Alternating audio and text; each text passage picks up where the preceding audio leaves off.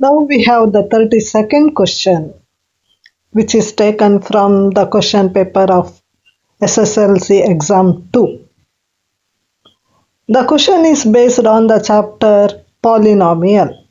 The question is the graph of y is equal to p of x is given in the figure.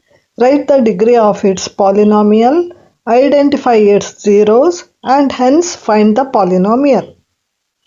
Okay, now we have the graph uh, intersects x-axis at two points.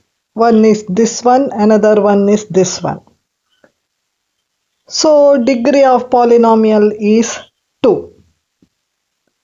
X-intercepts are negative of 2. This is negative of 2.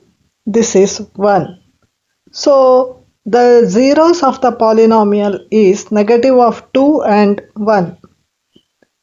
So now we have the zeros of the polynomial negative of 2 and 1. So alpha is equal to negative of 2 and beta is equal to 1.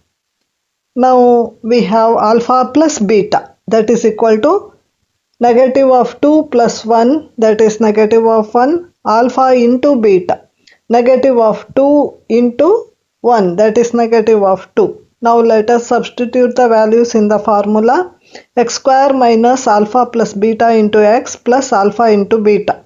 In the place of alpha plus beta we have to write uh, negative of 1. In the place of alpha into beta we have to write negative of 2. So now let us expand it x square minus into minus that is plus plus into minus that is minus. So x square plus x minus 2 is the required polynomial. I hope you have all understood the problem as well as the concept also. If you have any doubt please put it in the comment box. Please like, share and subscribe.